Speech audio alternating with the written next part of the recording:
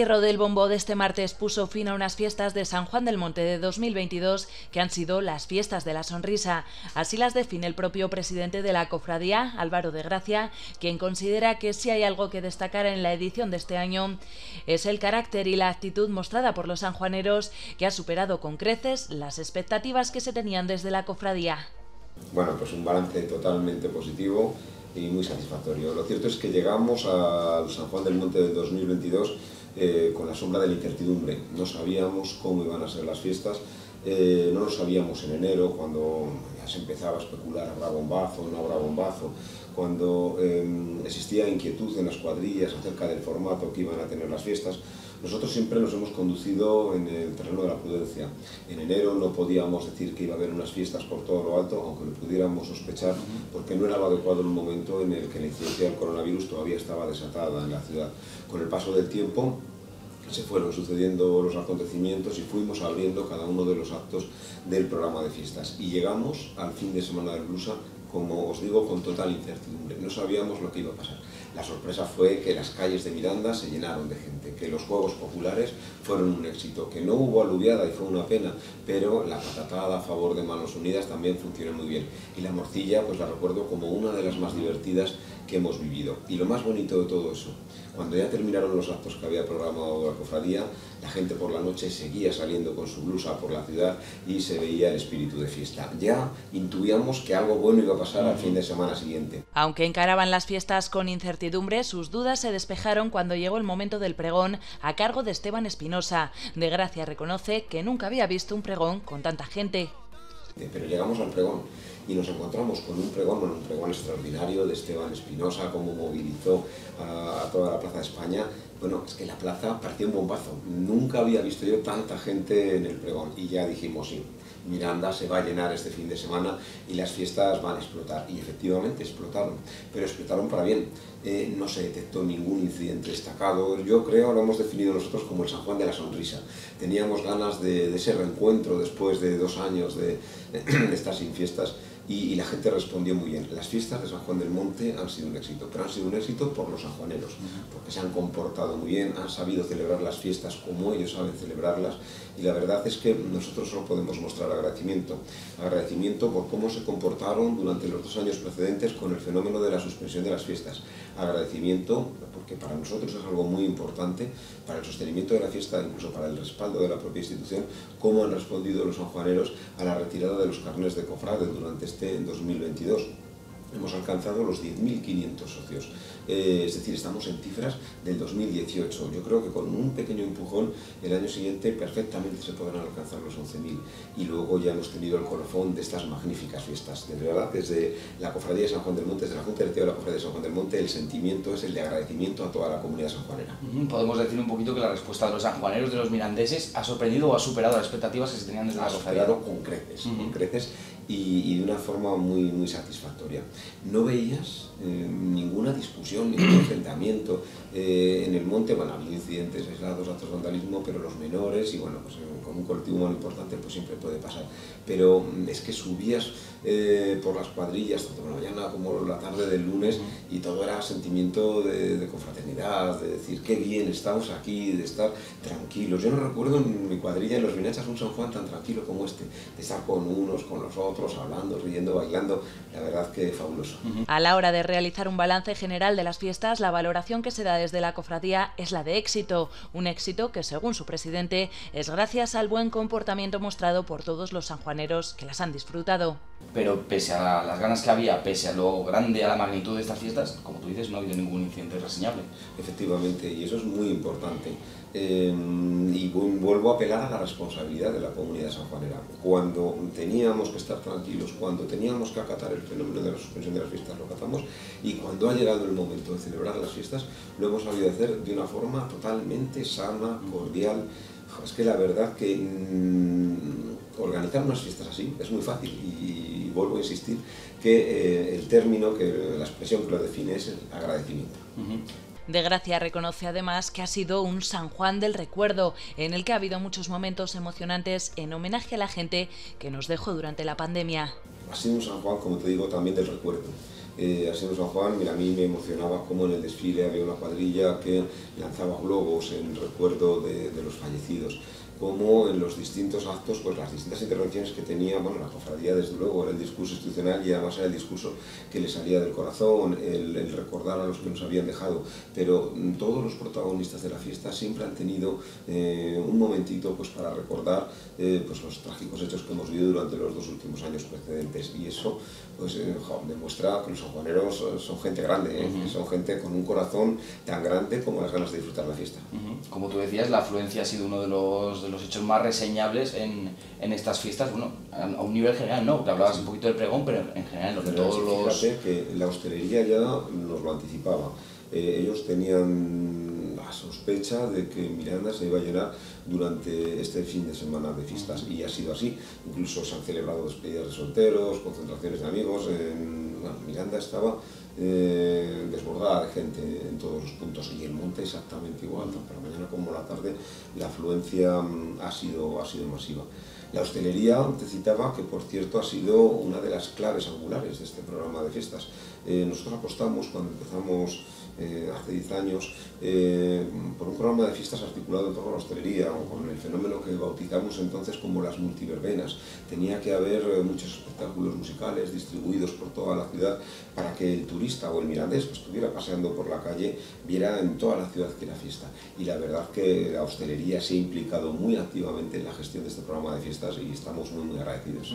Una vez concluidas las fiestas, tanto la ciudad como la cofradía ya piensan en la programación de 2023 cabe la posibilidad de que vuelvan actos que este año no se han podido celebrar, como es el caso de la aluviada? La aluviada plantea un problema logístico importante, que es el emplazamiento. Eh, sin el pabellón del Ebro parece inviable celebrar la aluviada. Eh, una carpa mm, de las dimensiones para albergar a 4.000 personas, que fue el último número de comensales que tuvo la aluviada, resulta, mm, con el presupuesto actual de la cofradía, inviable. Habrá que explorar fórmulas. Yo no sé si la fórmula es dotar de un recubrimiento al suelo del pabellón del Ebro, como existe, por ejemplo, en el pabellón multifuncional, o, explorar otras alternativas, como algún tipo de carpa sobre la zona del bulevar que no sea tan costosa como la que se empleaba hasta ahora en el, el emplazamiento del pabellón del Ebro. No lo sé. Yo sí que creo que la aluviada es eh, un acto muy importante de las fiestas, pero también os digo que la aluviada no puede ser un acto que hipoteque las fiestas. la aluviada, con diferencia, en los últimos años venía a costar del orden a los 20-25 mil euros. Sí que es cierto que se recobraba eh, una cantidad pues, por la venta de entradas, pero aún así el coste de la aluviada era altísimo. Entonces eh, habrá que plantearse en los próximos años eh, celebrar la aluviada, claro que sí, pero con sentido común y con prudencia. De Gracia también habla sobre su continuidad al frente de la cofradía. Veremos a Álvaro de Gracia en el balcón, en el pregón, en el bombazo como presidente de la cofradía de San Juan del Monte. Uy, ¿cuántas veces me han hecho esta pregunta durante los últimos días?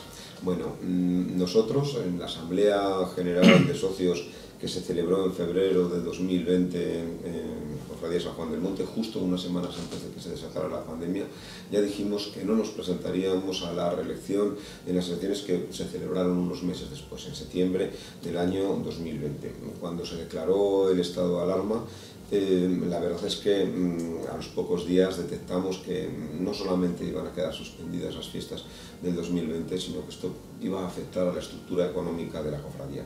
Y consideramos que precisamente por la responsabilidad eh, que representaba el no abandonar el barco en, un momento en el que la dificultad eh, podía ser extrema y por la experiencia acumulada que teníamos de organizar las fiestas en años anteriores, lo correcto, lo responsable, lo prudente, era que continuáramos un poco más al frente de, la entidad sanjuanera para mm, organizar esas fiestas eh, de la pospandemia y reconstruir la situación económica de la cofradía.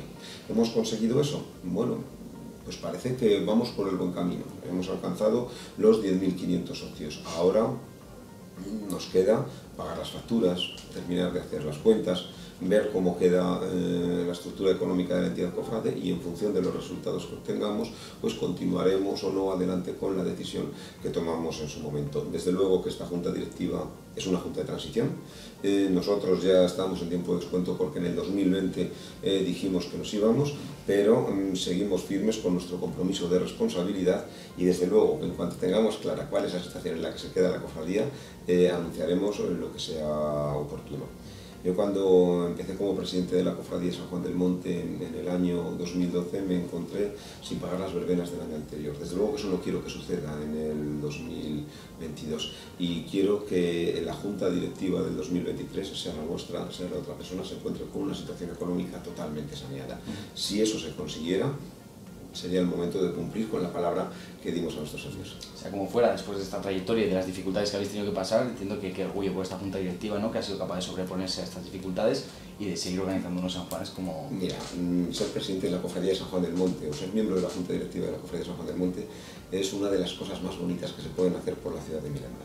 Organizar las fiestas, mm, puede que, el que no lo conozca eh, le parezca algo exagerado, pero lleva meses lleva muchísimo trabajo, lleva tensión, lleva nervios, lleva hablar con uno, con otro, pelearte por eh, muchas cuestiones, el defender los intereses de la cuadrilla A y de la cuadrilla B frente al ayuntamiento, frente a proveedores.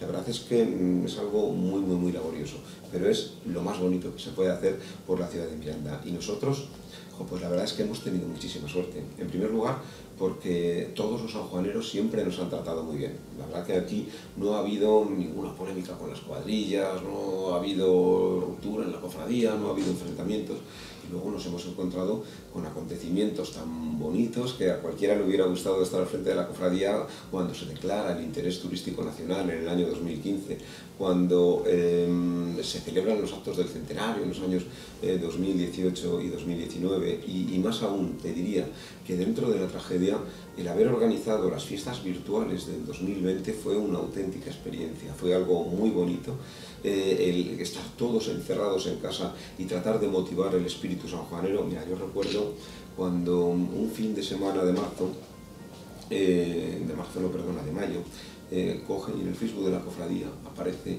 eh, un cartel apertura de plazos para los concursos, para el programa de fiestas.